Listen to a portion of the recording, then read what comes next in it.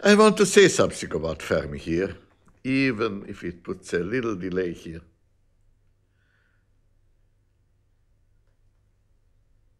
In between the long gone days of Europe and Rome,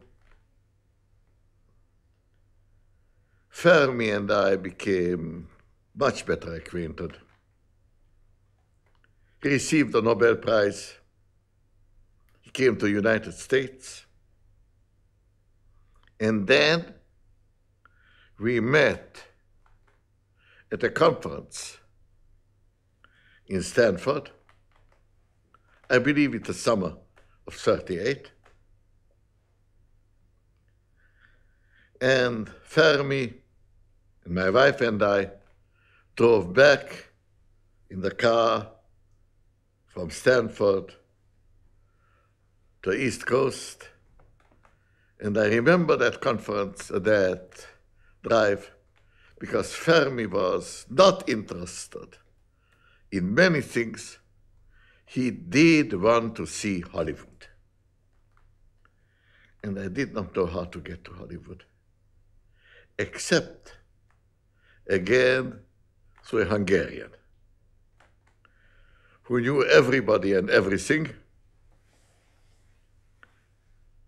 The great aerodynamicist Theodore von Karman.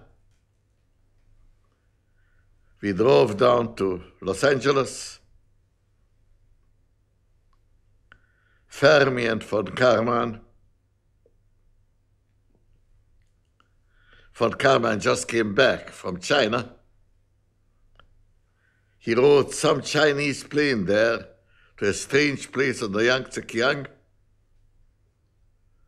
And Fermi asked him, Were you not afraid to fly the Chinese plane? And Uncle Theodore said, Well, I decided I, I designed it myself, but when I was carried up by four Chinese in a chair on top of the mountain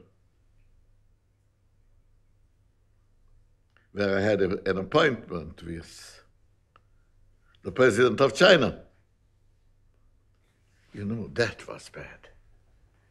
Because two of the Chinese, in a while, would stand on one end of the precipice and the other two at the other end the road curving in between, and I was sitting right on the top of nothing, and then I was afraid.